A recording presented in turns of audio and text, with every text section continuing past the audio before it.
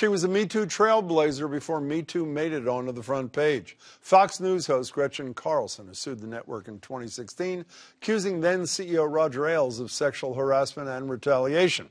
Carlson ultimately settled her case, reportedly for $20 million and an apology, but with that payout came a non disclosure agreement, meaning she's not allowed to talk about what happened to her, even as movies like Bombshell tell the story. In the years since, she's been calling on Fox to release her and others from their NDAs and has co founded the organization Lift Our Voices, which aims to stop companies from using NDAs to cover up harassment and discrimination. And that's exactly what brought her to the Massachusetts State House today, alongside State Senator Diana DiZoglio. Two years ago, DiZoglio went public with her story of how, when she was a House aide in 2011, she and a representative were seen together in the House chamber during a late night party. And although an investigation found nothing inappropriate had happened, DiZoglio said she was the subject of rumors, name calling, and propositions, which continued until her boss told her she should look for a new job. She was offered a severance package, but only if she signed an NDA, which she did. But then, when she became a state rep in 2018, she publicly broke the agreement. I don't break this NDA to attack or accuse anyone. I'm not asking for more money or threatening a lawsuit, and I will even give the severance money back if I am asked. I just want this awful practice to stop. DiZoglio was later elected to the Senate, where she says lawmakers have been open and supportive of her crusade, but says her former colleagues in the House have not been. She and Carlson joined me earlier today. Senator, thanks so much. Good to see you. And Gretchen, it's great to meet you. Thanks so much. So I spent Saturday morning seeing Bombshell. I can say anything about Bombshell I want. You live Bombshell, and you can't say one single word. Is that true? Correct. Does that drive you out of your mind? Listen, I have to take the high road on this. You know, I have to look at big picture and say that if the movie encourages other women to come forward and be empowered, then it's worth it. We weren't discussing sexual harassment in the workplace three and a half years ago. So we've made huge strides. If I would have said to you that, that three and a half years ago that they were going to make a movie about harassment in the workplace, and they were going to have Nicole Kidman starring as somebody, and a bunch of other people that are famous, you would have laughed at me. Tell me, let me tell you, she's great. You can't say it. Uh, I can't. When you well, I can say she's great. Well, I just can't say can. whether or not the story is depicted accurately. Well, uh, let me say that uh, we have read that you received some money, that you received an apology, which is otherworldly considering the source. Was the NDA a deal breaker at that time, or is not even something that occurred to you? Yeah, so, so thank you. My, my settlement was progressive for its time three and a half years ago because I did get that rare public apology. I also was given the ability to talk about the harassment in the workplace issue, which I have done every single day with regard to advocacy and trying to change laws and benefit for women. But had I known that I would have ignited a cultural revolution, I would have thought long and hard about not signing that NDA. But I had no idea we would be at this place in time right now and have made so much progress. Bringing it back uh, locally, you signed one and then broke it. Yes, uh, I did. What's the goal of this legislative campaign of yours that Gretchen is here to support? What, what are you trying to achieve? The goal of this campaign is to ensure that we're protecting victims of harassment and assault moving forward from being forced into the shadows and from being, from being forced to be silent. Right now, currently in Massachusetts, people are actually allowed to purchase the silence of their victims, protect predatory behavior, so that these predators can move from one victim to the next with the victim potentially in the future not having any idea that they're out there. So we're trying to pass this legislation to prevent that from happening. You know, uh, but when we spoke to, we communicated with the House leadership, uh, and their contention is unless a victim, unless a survivor wants uh, in their words, a non-disclosure agreement, there won't be one. So what's wrong with that thinking, Senator? That's absolutely not true. The House still allows for non-disclosure agreements to be used, even when the victim is not driving the conversation.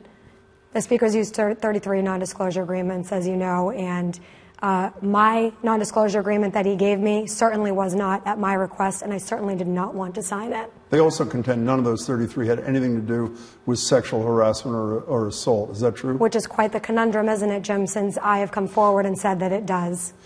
Are you okay with this notion that even if a survivor, him or herself, says, I want to sign something, that that should be outlawed? They shouldn't have that no, opportunity? They, have the, they that? have the opportunity to do that with the senator's bill as well. So, so then, how do you deal with the notion that a, let's say, a woman uh, may be coerced into quote voluntarily? How do you what, how do you determine whether something is coerced or voluntary? Well, because I think you have to look at the power pendulum currently. This is how the, what the dynamic is right now when you have NDAs. Here's the purported victim, and here's the perpetrator, right? She's way down here, or he, because they don't have a voice. Mm-hmm. The minute you give them a voice, look what happens. You know, and you formed this uh, Lift Our Voices. While you can't speak, as you said, about the particulars of your case, you can talk about the issue in general. Your goal is to end muzzling and silence, as I've read on your website. But it seems to me, as an outsider here, well, I guess I'm not an outsider, I'm part of society, is that the likelihood of someone, a perpetrator, being a perpetrator is less if he or she knows that there is no likelihood that they can buy the silence of the survivor 100%. later. Is that not, is that yes. not true? So it has a dual effect, actually, with my power pendulum example again. This person, when they know you have a voice, maybe they don't harass anymore or abuse or assault. So that's our entire mission with Lift Our Voices. It may be too late for my particular story, although I am demanding that Fox News let me mm-hmm. out of my NDA. We're doing this for the myriad of women across this country and men who have been muzzled. And there's no way of knowing how many there actually are. Let me be clear. So you're both okay with an NDA if there's a, however it's determined, a voluntary seeking of an NDA by personally, an Jen, Is that right? As long as she's not being forced into it. Personally, yeah, I have an issue with non-disclosures for, across the board. For, for, for assault and harassment across the board. However, I have put a provision in this language to allow for the victim to request one because the speaker and governor have said continuously that that is their concern is that a victim needs to be able to request one. So I have put that in this language and taken away their argument for not passing this and yet they still refuse to come to the table and to pass this legislation even with the option for the victim being present in this legislation. What about the notion I heard Mitchell Garabedian at your press conference say that under depending on the circumstances, if someone were to sign one of these things, let the survivor have the right to opt out of it after the fact. Absolutely. Isn't that a a protection as well? Yes, and I have actually advocated for the past and continue to advocate for my bill and more on this issue. This bill is very limited in scope because of the pushback that I have received we changed the language of it to make sure that this was something that we'd be able to get past to take a step in the right direction. This is the first of many steps that we need to take moving forward on this issue. And I agree with Attorney Mitchell Garabedian. And I agree with a lot of people that say this bill needs to be expanded. And I hope that my colleagues will join me in that. But they first have to release this very limited in scope bill out of committee, and they won't even do that. What, what do you say to the person who's not involved in the transaction? That uh, I have an interest in this too.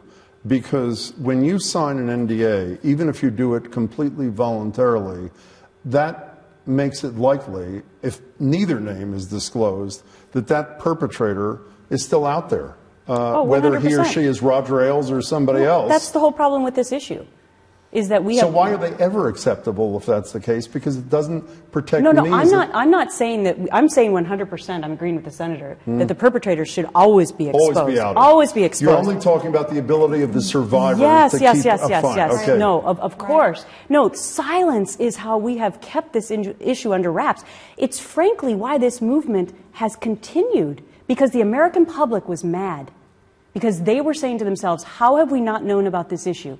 The reason they didn't know about it was because of forced arbitration clauses in employment contracts that puts you in a secret chamber and NDAs. Those two things. It's why we're fighting so hard to eradicate both. Final part of the tipping point. Are you hopeful? By the way, I heard you say at the press conference there's a toxic culture in this business. That's not in this building. That's not exactly an optimistic sense about getting somewhere. Are you optimistic or no? I have been calling members of the Judiciary Committee and asking them for support to pass this legislation out of committee and to report it out favorably. And? There has been tremendous pushback with members of Speaker DeLeo's leadership team calling around simultaneously, trying to uh, make false statements about the legislation, saying that victims don't have an option, saying that everybody's opposed to it, and outright saying that there will obviously be repercussions. Why do you think they're taking that position, Senator? Because the Speaker wants to be able to continue to abuse these agreements in his chamber with his own employees And the governor has continued to be silent on this as well. Can we end on a little bit of an op? You're making progress around the country, though, are you not? Oh, yes. What- I mean, well, listen, well, from Lift Our Voices, we've heard from thousands of women already.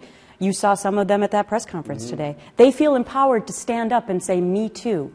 Okay, so we are making massive progress with women knowing that they're going to come forward and tell their stories. And I am incredibly optimistic that I will be passing my arbitration bill on the Hill on a federal level.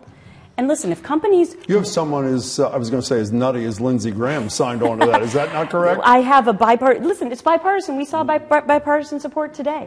Sexual harassment is bipartisan. Yes, I have Senator Graham, and when we get done with the impeachment proceedings and however that turns out, the senator will be back trying to also pass my bill. And while Fox News has not yet agreed that uh, people should be released from prior agreements, NBC News has. Is that not correct? Purportedly, Uh-huh. and that's what uh, gave us the idea that we would uh, demand that Fox let us out as well. Gretchen. I'll let you know when we hear from them. Good. I hope you will. It's good to It's see you. to see Thanks you. so much. The movie was great, by the way. Nice to see you. you, Senator. Thank you, John. Appreciate it. We've been in touch with the House Speaker's office, offering them an opportunity to respond.